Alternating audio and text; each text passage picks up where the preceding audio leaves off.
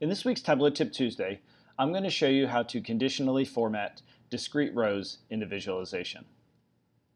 So to start off, let's look back at this blog post by Ryan Sleeper. And if you're not following his blog, you should be because it's chock full of amazing tips.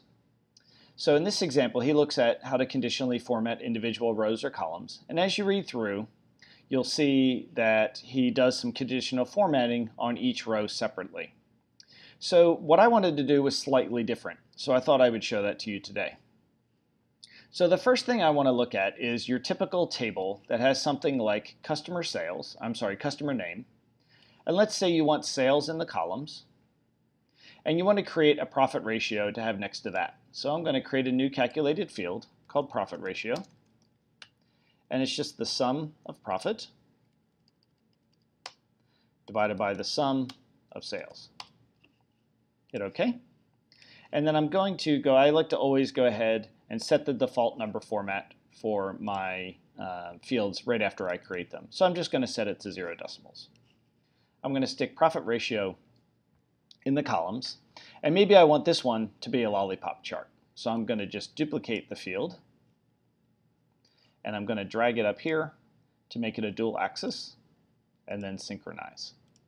Okay, so now what I need to do is I need to go back to my sales option on the marks card, make this a bar, and then I want to go to the first profit ratio on the marks card and make that a bar and make it nice and thin.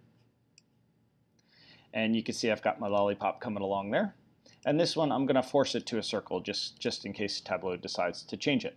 So uh, this one is my circles, so I want to also, okay, says move marks back. Okay, so that means they're in the front. That's good. That's what I want. Now what we want to do is we want to conditionally format these, uh, basically I want to color code my lollipops so that I could tell whether uh, or not they're within certain profit ranges.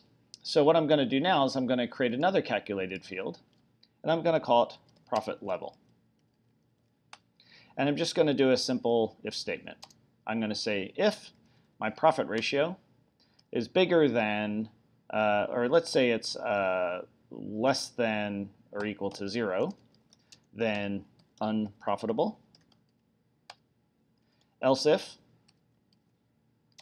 profit ratio is uh, greater than or equal to 0.2, then highly profitable,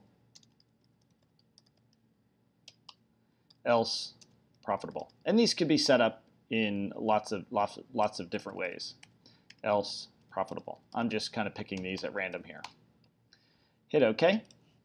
And you'll see now I have a uh, discrete measure called profit level. And what I'm going to do is I'm going to drag that to the color shelf of my circles.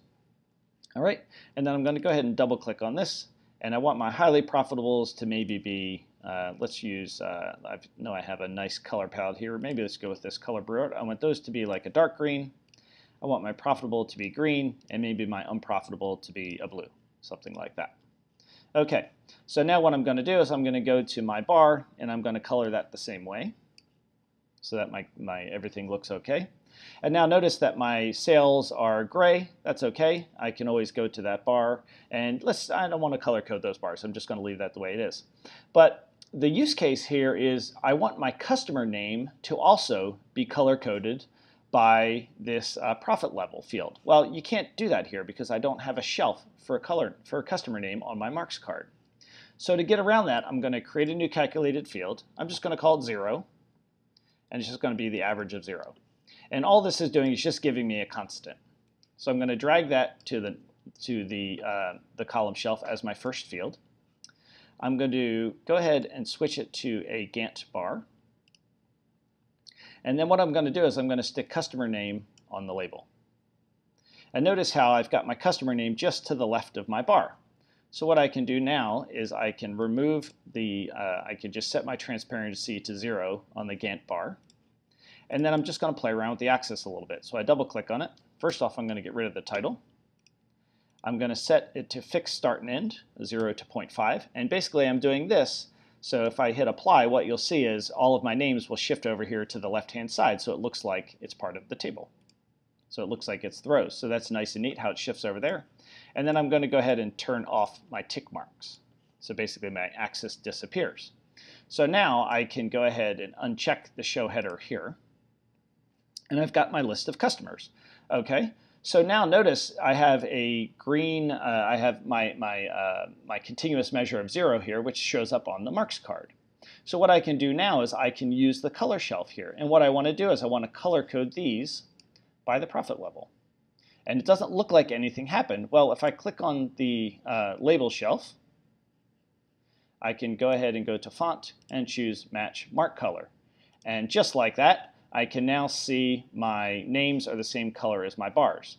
Well now it might be nice to actually have all three of these the same, so I'm going to go ahead and go to my sales and throw profit level on color there as well. So now I can see the same color going across.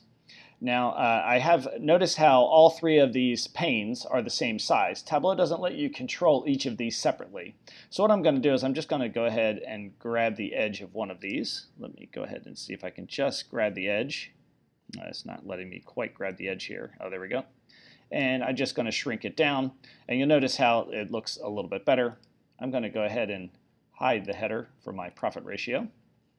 Okay, so now you can see uh, my tooltips don't look really that great. Um, you see I've got this average, I've got this zero field, so I'm just going to go up here and on my, I'm going to untick the include in tooltip.